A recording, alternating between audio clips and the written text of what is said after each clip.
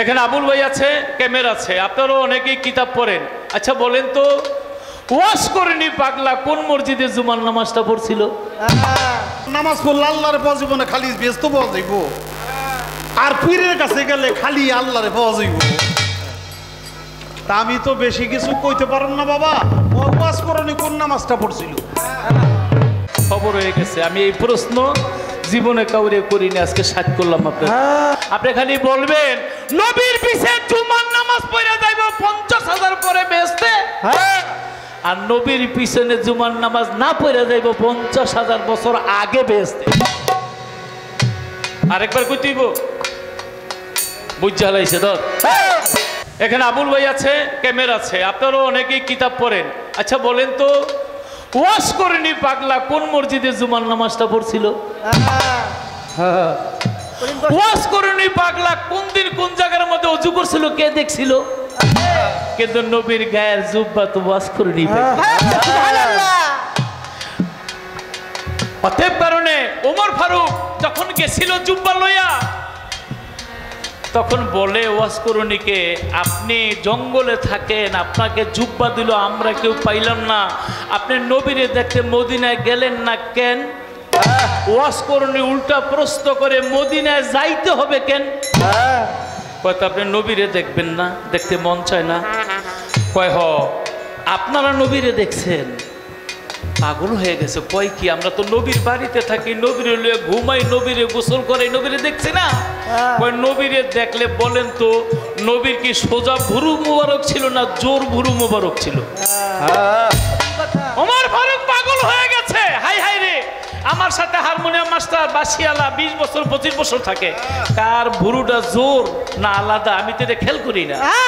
ওমর ফারুক পাগল হয়ে গেছে জোর ভুরু না আলাদা ভুরু মুবারক। গবেষণা করতে করতে এদিকে ওয়াশ করে নি আমার নবীর ভুরু মোবারক অঙ্কন করে ফেলেছে বলেন অঙ্কন করে বলে বলেন তো এটা কার ভুরু মোবারক? বলে এটা তো আমার নবীর ভুরু মোবারক। আপনি তো জীবনে মদিনে জানলে আমার নবীরে দেখেন না এটা কেমনে অঙ্কন করলেন? ওয়াশ করিনি বলে আমি যখন দুটা দান দান শহীদ করেছিলাম, আমার নবী করিম ইসলাম আমার কাছে যখন এসেছিল, কোনো মতে বলে সরাসরি কোনো মতে বলে স্বপ্নে আমার রাসূল যখন আমার কাছে এসেছিল, আমার রাসূলের পাও হইতে মাথা মোবারক, আমার কলিজার মধ্যে আমি অঙ্কন করে ফেলেছি। এই তো ব্যবধান। যারা বছরের পর বছর, মাসের পর মাস নবীর সাথে খায়, ঘুমায়, তারা বলতে পারে, না, নবীর ভুরু মোবারক। যে দেখে নাই, জঙ্গলে থেকে সে বুঝতে পারে, নবীর ভুরু মোবারক কেমন ছিল। তাই এই দুইটা চক্ষু না, অন্তরের একটা চক্ষু আছে, অন্তর চক্ষু দিয়া আপনি দেখেন। এই আসতে, আমার প্রশ্ন, সরকার সাহেব, আপনি বলবেন, সামনে কলক সামনে চক্ষু সামনে নাসিকা সামনে মুখ কান মাঝামাঝি কলো ভাট ব্যবসা সব সামনে। সামনে আসলো বেলায় আর পৃষ্ঠের মধ্যে নবুদ গেল কারণটা কি? আমার বেলায় সামনে। আপনি যদি মাপতে যান তাহলে ছয় আঙ্গুলে এমনি আমি সামনে রয়েছি। আপনি যেহেতু পৃষ্ঠের মধ্যে নবুত আপনি পিছনে আছেন। এই তো। তাই আমার প্রশ্ন না, অল্প কথা, ছোট্ট কথায় আমি চমৎকার ভাবে জবাব চাই, আরেকটা কথা না বললে পারি না।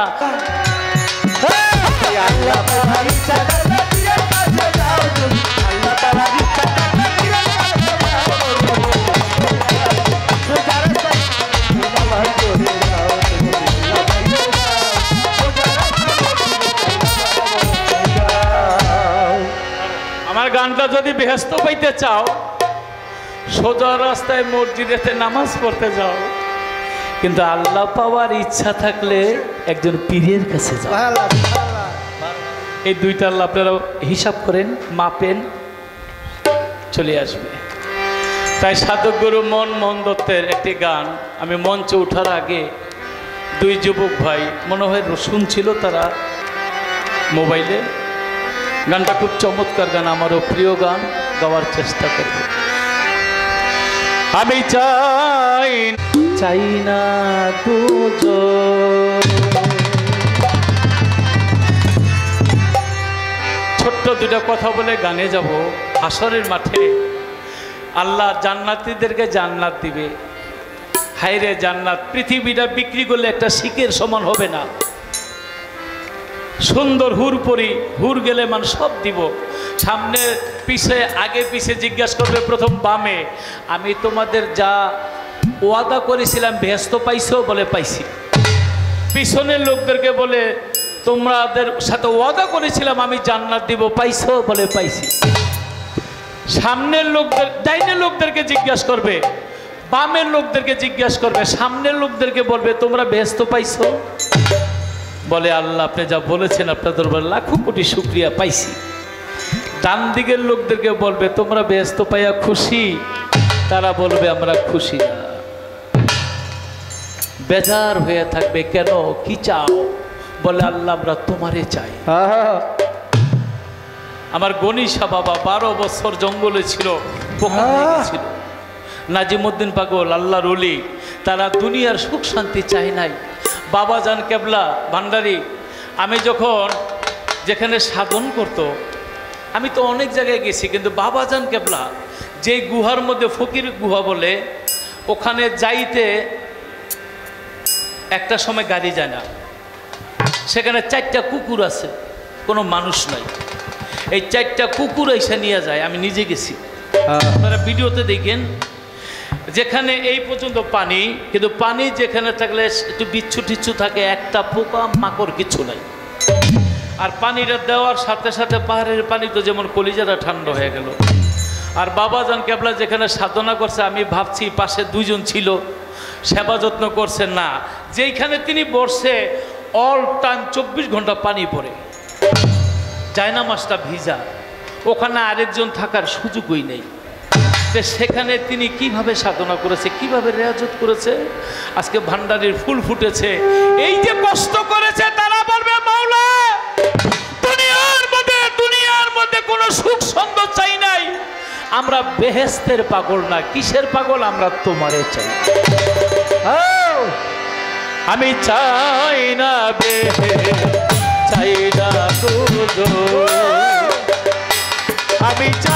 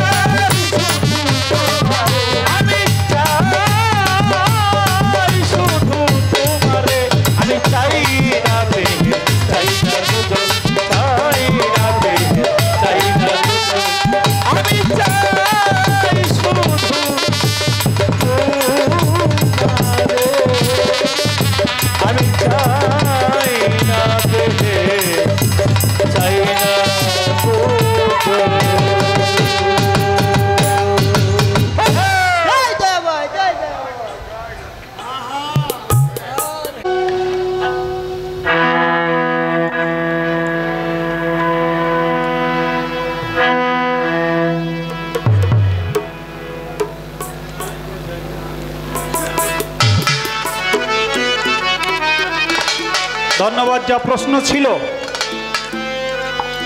অতীব সুন্দর করে জবাব দিয়ে। আমার কাছে কিছু কথা রাখছে?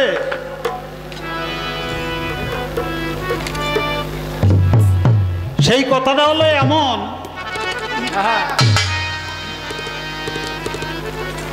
যদি ব্যস্ত পাইতে চাও সোজা রাস্তা মসজিদেতে নামাজ পড়তে যাও। ভালো কথা। আর আল্লাহ পাইবার ইচ্ছা থাকলে পীরের কাছে যাও। ঠিক আছে আমার কোনো আপত্তি নেই কোনো জায়গায়। পীরের কাছে যে যাউন লাগবো এই কথাটা কইছে কে?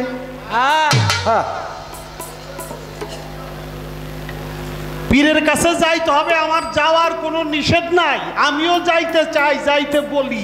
কিন্তু পীরের কাছে যাইতে হবে এই কথাটা কারবার নবী করিম সাল্লাল্লাহু সাল্লাম বলছে আল উলামা ওয়ারাসাতুল আম্বিয়া। তার হাদিস শরীফে। আল উলামা ওয়ারাসাতুল আম্বিয়া। আম্বিয়া। দুনিয়ায় যারা সভ্য আলেম হক্কানি পীর তারা হলো আমি নবীর ওয়ারিস অতএব আমি যখন থাকব না তোমরা সেই নায়েব রসুলের কাছে যে, অর্থাৎ পীরের কাছে যে তোমরা আত্মসমর্পণ করো। এই কথাটা তো নবী কইছে। আমার ছোট্ট একটা কথা ছিল যে, বেলায়েতের কর্ম, এই কর্মগুলো কি নবুয়তের কর্ম যেরকম, এরকমই নাকি অন্য কিছু? এই জন্য কইছে যদি বেচতে যাইতে চাও সোজা রাস্তায় মসজিদেতে নামাজ পড়তে যাও। ধন্যবাদ আমার কোনো কথা এখানে নাই শুধু একটা কথাই জান একটা কথাই আপনাদের কাছে জানতে চাই। আচ্ছা নবী করিম সাল্লাহ সাল্লামের আমলে আপনারা যে যে কলেমাটা ছিল লা ইলাহা ইল্লাল্লাহু মুহাম্মাদুর রাসূলুল্লাহ এখন কি কলেমা বেলায়েতের জামানায় পাল্টাইছে না আগের ডে আছে? আগে ডাক আছে তো? হ্যাঁ আচ্ছা নবীর কাছে যে কোরআন আসছিল এখন কি কোরআনটা নতুন করে পাল্টাইছে না আগের ডে আছে? আগের আগেরটাই আছে।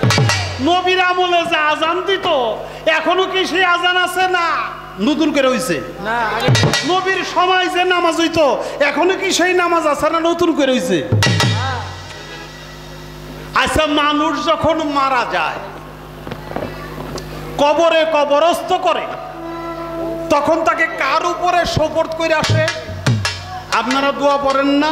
বিসমিল্লাহে ওয়া আলা মিল্লাতে রাসূল আল্লাহ সাল্লাল্লাহু রসুলের উপরে সোপর্দ করে আসেন। এটা আগেও ছিল এখনও আছে। পৃথিবী যতদিন আছে ততদিনই থাকবে। ব্যাকই তো আমার নবতের কর্ম। আমি তো কিছু বুঝলাম না বেলা বেলা দিয়ে কি কর? হ্যাঁ। নামাজ নবতের হ্যাঁ। আজান নবতের রোজা নবতের হজ নবতের কোরআন নবতের কলেমা নবতের এ, কি কি কয় আমি এটা কিছু বুঝি না।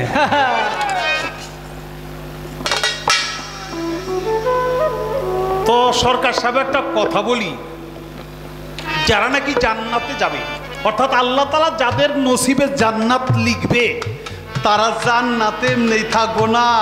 জান্নাতে যাইয়া বলব, আল্লাহ, আমরা তোমার আবাদত করলাম, আর তুমি জান্নাত দিয়ে হুয়াই ধুলে আমরা জান্নাতের মালিকরে তো দেখলাম না। আল্লাহ তালা বলবে, এই যে আমি তোমাদের মাঝে আসছি, পূর্ণিমার চাঁদের নেয় আমার আল্লাহ তালা জান্নাতবাসী জান্নাতবাসীদের সাথে আল্লাহ তালা সেদিন দেখা দিবে, দর্শন দিবে। জোরে জোরে বলি সোবাহা যেমন সবাই দেখতে পায় হ্যাঁ। তেমনি আল্লাহকেও জান্নাতবাসীরা সবাই দেখতে পাবে। হ্যাঁ। এটা আল্লাহ তালা বলছে। এখন খালি জান্নাতে গেলে আল্লাহরে বজিব না নামাজ পড়লে আল্লাহরে বজিব না খালি ব্যস্ত বজাইব আর পীরের কাছে গেলে খালি আল্লাহরে বজাইব তা আমি তো বেশি কিছু কইতে পারেন না বাবা। ওয়াজ করনি কোন নামাজটা পড়ছিল?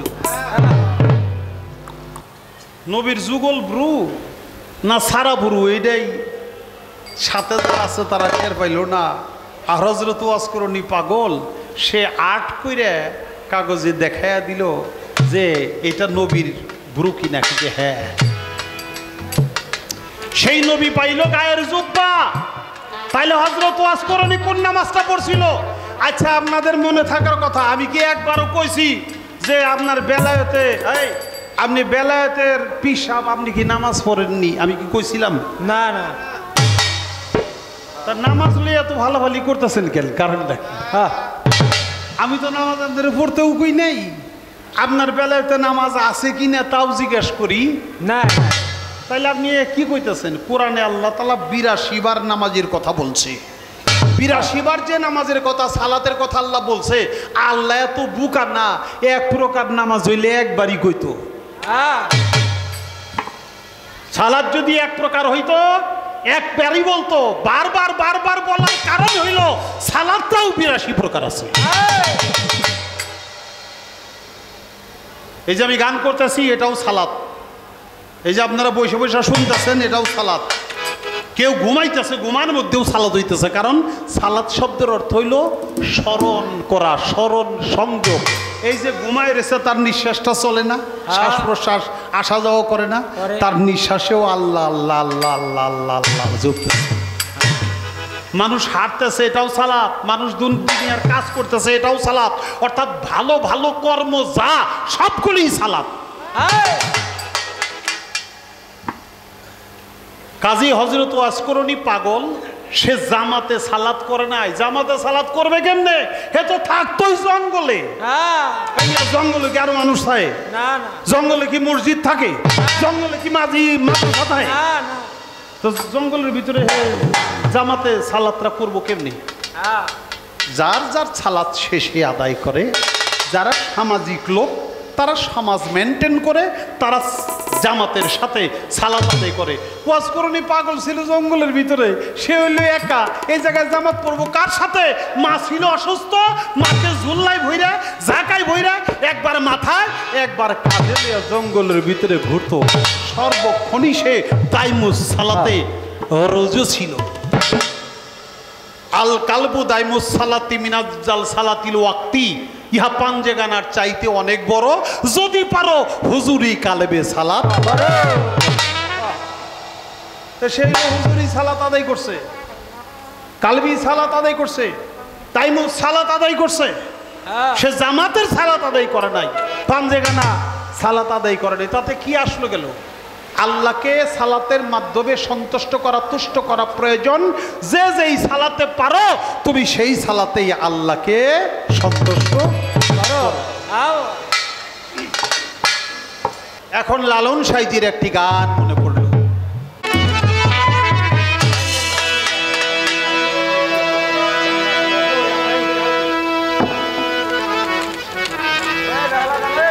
বেহালা আপনি বন্ধ করেন কেন?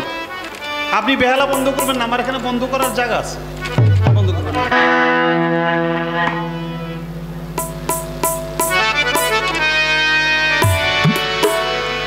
আচ্ছা বাবা, আমার একটা ছেলে কিছু টাকা পাইছে। রাস্তায়। যার টাকা সে যদি আশেপাশে থাকেন, তাহলে আপনার কত টাকা হারাইছে, এটা একটা প্রমাণ দিয়ে তারপরে নিয়ে যাবেন। টাকাটা আমার কাছে জমা আছে।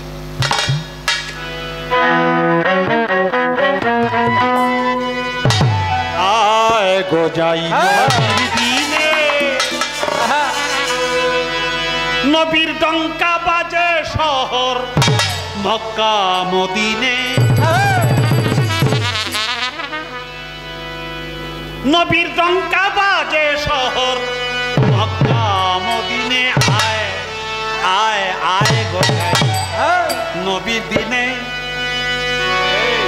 রাখ এত সাউন্ড দিস না তুই বাজাইস না। পয়সা সকালবেলা টিকি দিব দিন মানে হলো ধর্ম। দয় বয় দীর্ঘিকার দুন্তন্ন এটার নাম হলো দিন। এই দিনের অর্থ হইল ধর্ম।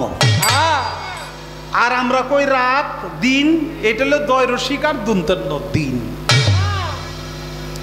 পৃথিবীতে শরীয়ত করেন তরিকত করেন হাকিকত করেন মারফত করেন নবত করেন বেলায়ত করেন হাদিনিয়াত করেন যে যাই করতে চান সমস্ত দিন আমার নবী থেকে আসছে। হ্যাঁ। নবীকে বাদ দিয়ে আপনি কোনো দিন করতে পারবেন? না। মানে ধর্ম করতে পারবেন? না। না। আমার বাজান আব্দুর রশিদ সরকার একটা গান লিখছে, সেই গানে বলছে, আমরা সবাই ইমানদার ওই ইমানটাই নবী সরোয়ার। ইমান থুইয়া মুসলমানরা কোন সাতার ধর্ম করে? নবী থুইয়া, নামাজ লইয়া, তোরা যাবি কি কব্বর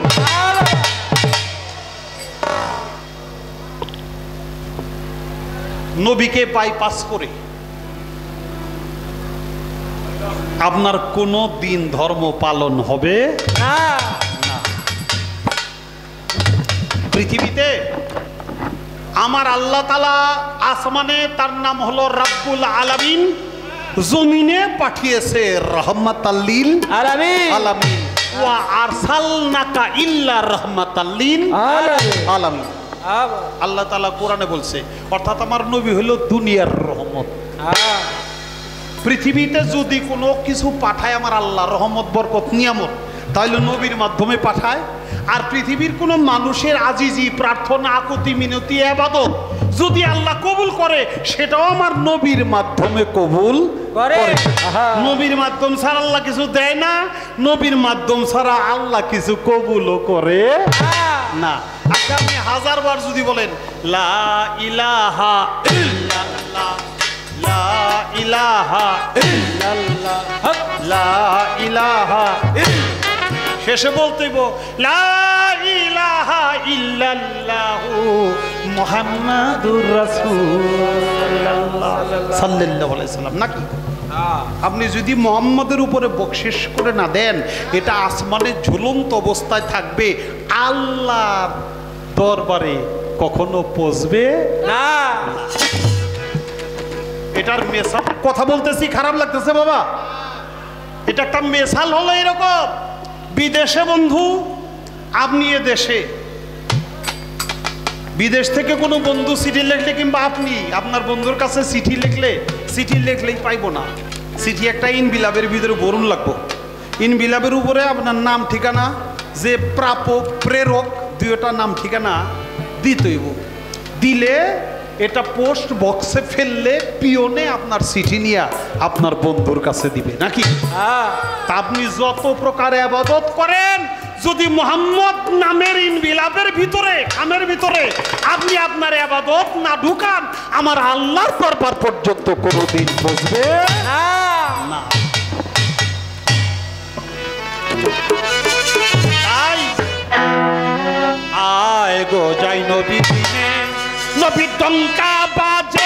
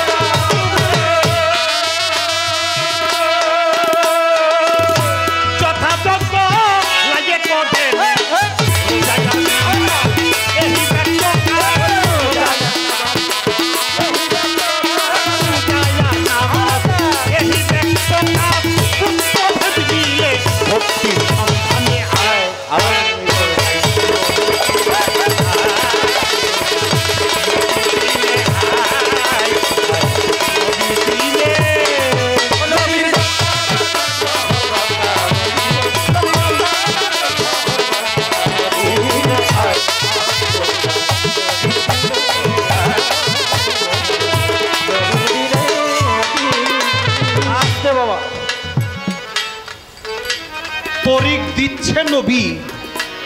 জাহের এবং বাতুন।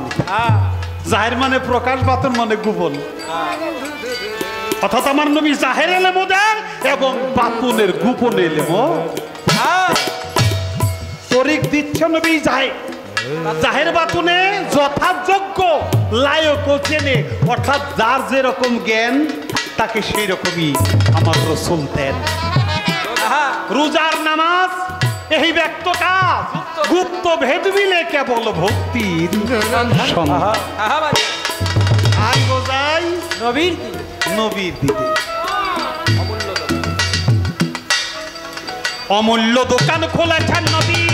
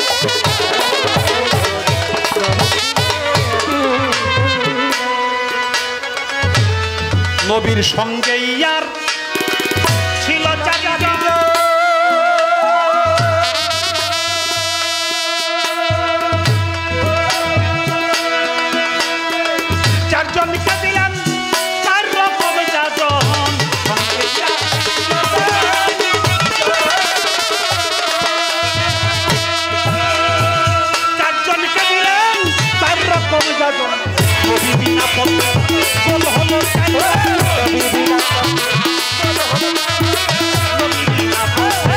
হলো চার পথে লালন বলো তোরা কেউ হলে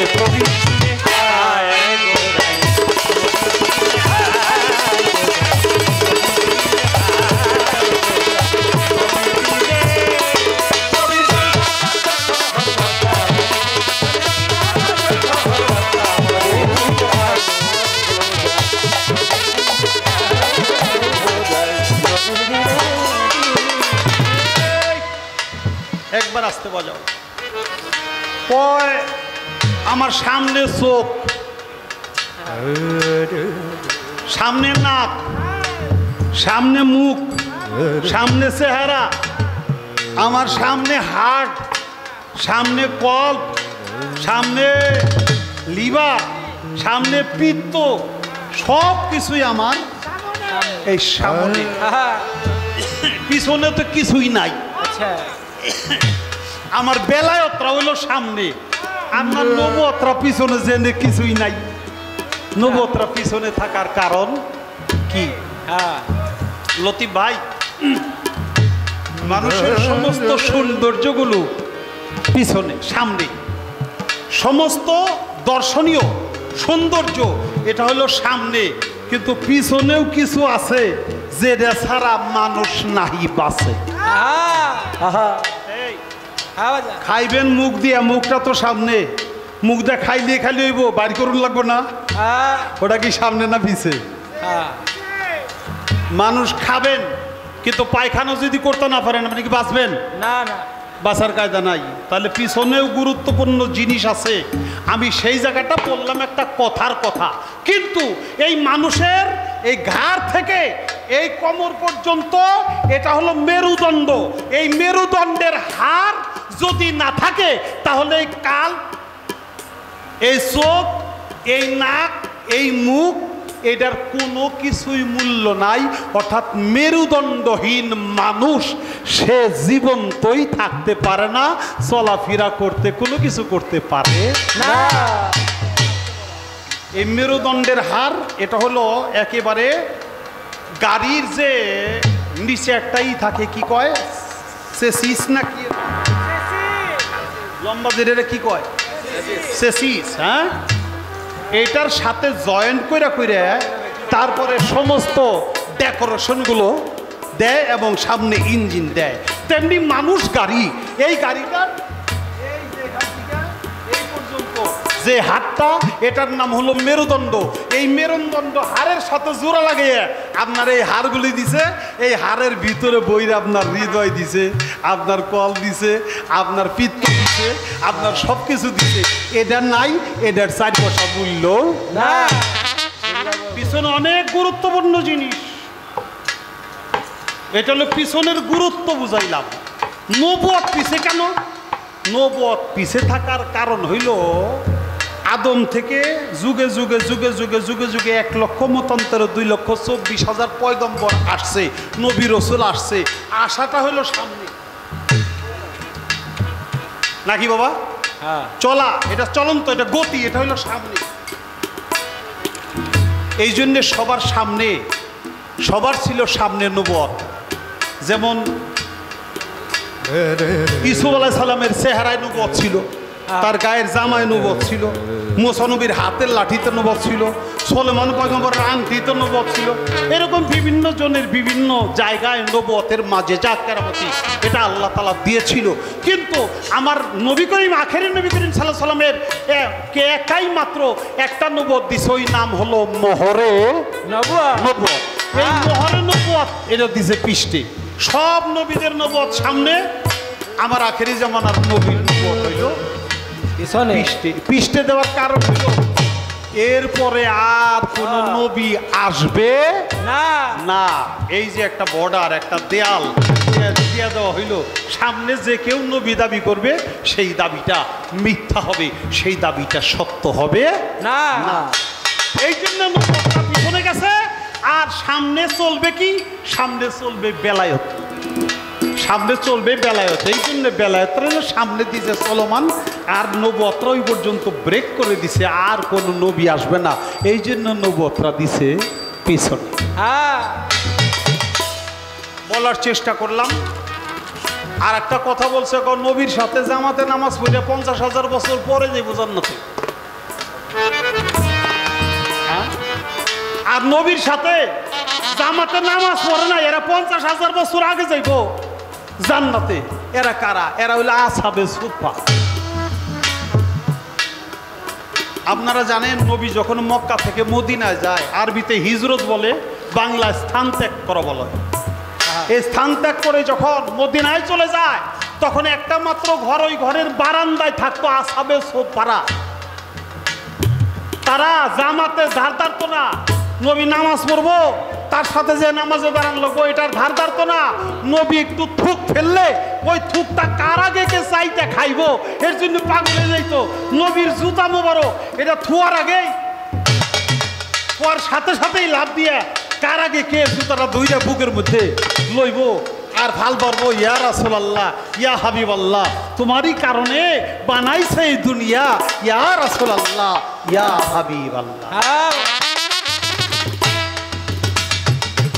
একদিন হজরত ওমর গেছিল ইয়া রাসূলুল্লাহ আসাবে সোপারা যে নামাজ টামাজ পড়ে না? এরা নামাজের সময়ও ভালো পারে হালকাও করে। আপনি হুকুম দেন তলের আঘাতে দ্বিখণ্ডিত করে ফেলব। নবী বলছিল একবার বলছো আর কোনো দিন বলল না।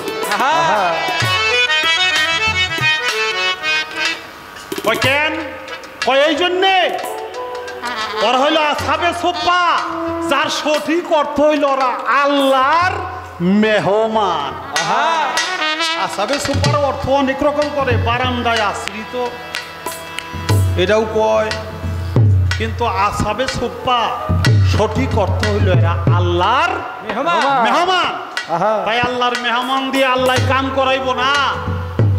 তোমরা তো জানো না বুঝো না। কারও বাড়িতে কোনো মেহমান আসলে বিয়ে আসলে বিয়ে দিলে চকে ধান কাটতে যায় নাকি? পাট কাটতে যায় নাকি? যে পাট তলায় যেতেছে বিয়ে তাড়াতাড়ি পাট কাটুন লোক আমার সাথে একটু গামছা পুরে লন। বিয়ে রে পাট খেতে নামায়? না। অর্থাৎ মেহমান আল্লাহর মেহমান মেহমান দিয়ে কাম করাতে হয় না। মেহমানদের সযত্নে খালি খাওয়াও আনন্দ করো মেহমানদের হাসি খুশিতে রাখো। তাই তাদের কথাই বলা হয়েছে। এবং আর একটা তারা আল্লাহর আরসের ছায়াতলে স্থান পাবে অবশেষে। আর যারা নাকি অনবর্ত নামাজ রোজায় মত্ত ছিল তারা আল্লাহর আরসের ছায়াতলেও স্থান পাবে না এবং তারা পঞ্চাশ হাজার বছর আগেও জান্নাতে যাইতে পারবে না। না তারা পিছিয়েই পড়বে।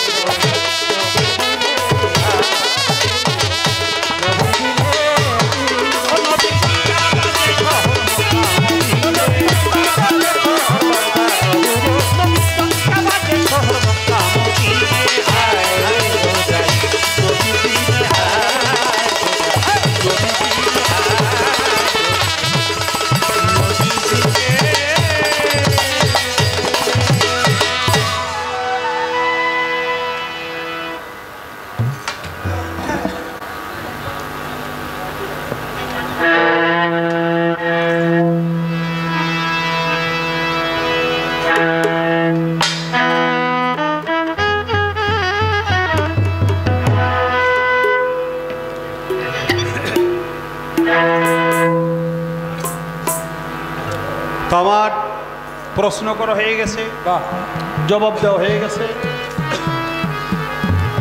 আমির ভান্ডারী বাবাজি বলছিল, গত স্টেজে বিচ্ছেদ গান করার জন্য। বললাম যে একেবারে প্রথম দাঁড়াইলাম পাল্লা নিয়ে, এখনই বিচ্ছেদ তো চলে না। তো জানি না কেমন হবে স্টেজের জন্য আমি নতুন। এখন কি বিচ্ছেদ গাবো? না, আমার ইচ্ছা না। আপনারা বললেই আমি গাবো, না হলে নাই। গাবো?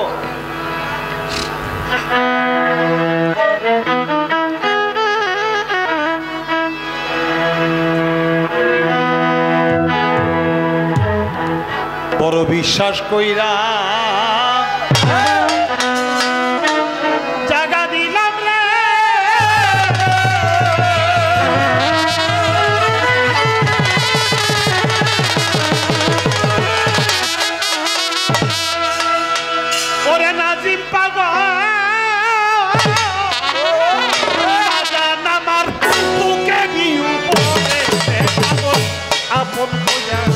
আপন কইয়া। আমার করত রে আপন কইয়া আপন কইয়া সব দিলাম তো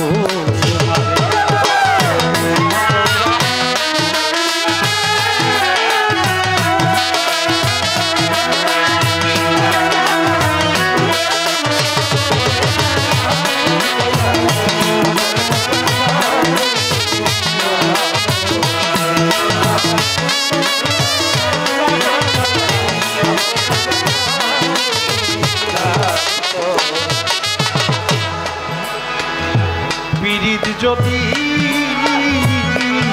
হরে। যদি না করি তা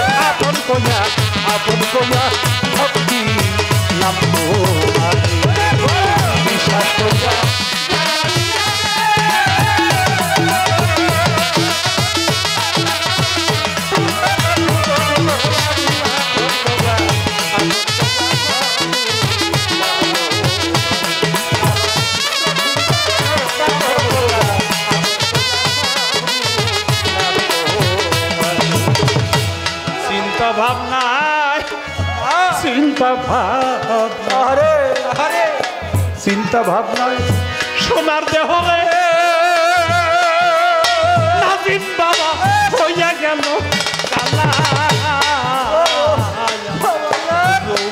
শুকাইয়া গেল শুকনা গাঙ্গের পলা